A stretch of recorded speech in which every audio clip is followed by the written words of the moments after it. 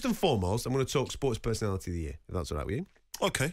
Uh, crown tonight. Congratulations to Mary Earps, uh, classed as the uh, sports personality of the year.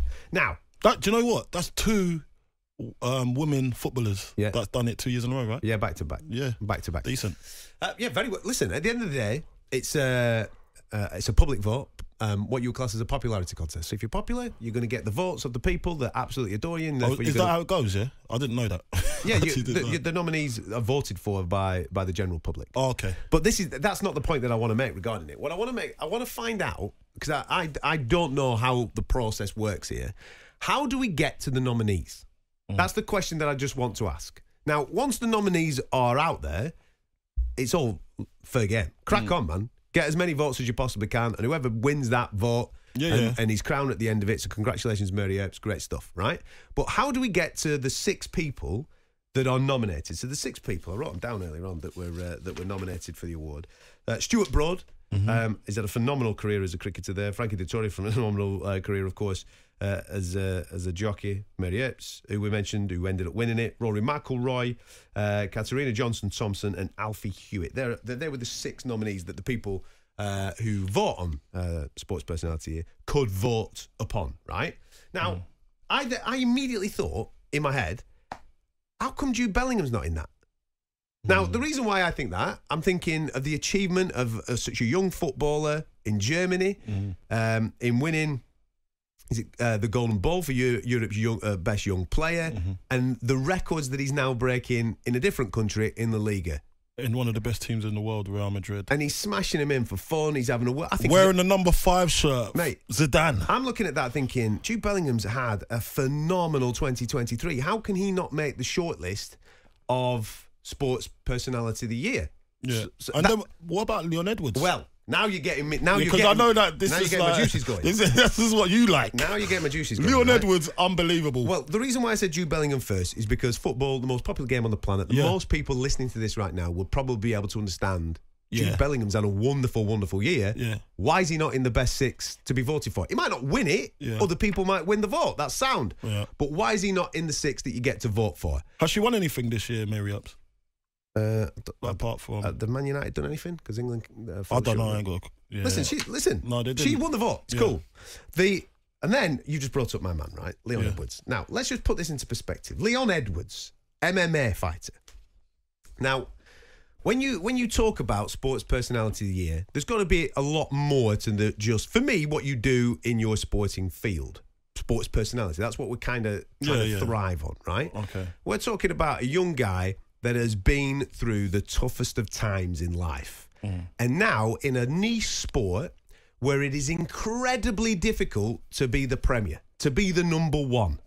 It's not like boxing where there's a million belts in each weight division. We're mm. talking one weight, one belt, championship belt, top of the tree in the weight division of the best fighters on the planet. Now, just to put this into perspective, before Leon Edwards, only one man in history from Great Britain has been a UFC champion across all the weight divisions. Only mm. one has been able to do it. Leon Edwards, last year, 2022, became the champion. Mm-hmm. In 2023, he defended his crown, his championship Yeah, belt yeah, on yeah. British soil against the pound for pound number one fighter on the planet. And he beat him. And he beat him easy. He beat mm. him easy in front of his British fans. And then last week, where I've just been in Las Vegas, he then went to Las Vegas. He took on Colby Covington, who many would were saying, "Oh, this is uh, this is where Leon Edwards is going to get found out."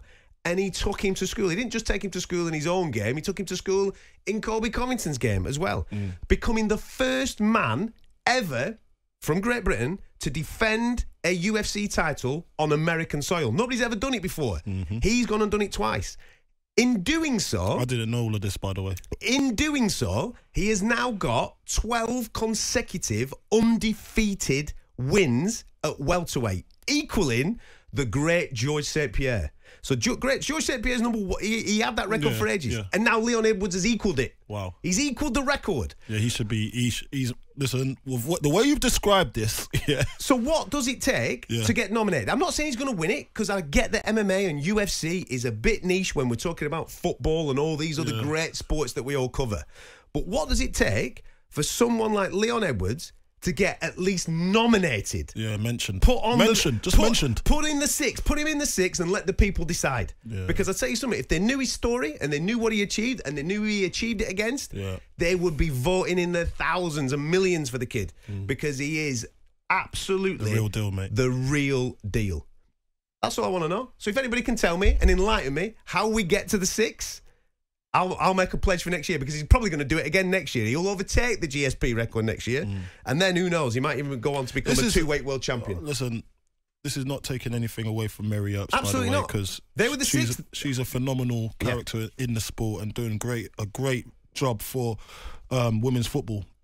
But then now we've got to look at it. Well, are we sharing? Are we sharing the load here? Because it's been twice now that women football have won the Sports Personality of the Year Yeah. in a row. Yeah, but that's might be what's popular with the the people that are voting. I get that. Yeah, but it's got to be in the. No, it's got to be nomin. Like there's got to be more um, vi- variations on the nominees. I agree. That's all we're trying to say. I agree. Listen, don't get me started on Tom Aspinall as well, who became heavyweight champion this year in the UFC. Listen, I'm getting all Oh, no, no, UFC yeah, heavy. no, but yeah, Leon the Edwards UFC is a bit too heavy. Come on, man. We got to go. We got to go. We got to go to another sport. Yeah, all right, you're right. You're right. Listen, let's have more recognition for some of them niche sports because there's some sensational athletes that are doing great things on the world level in these niche sports that absolutely should be celebrated and be given the little push when it comes to the six nominees that people get to vote for. On AM, on DAB, via the TalkSport app, and on your smart speaker.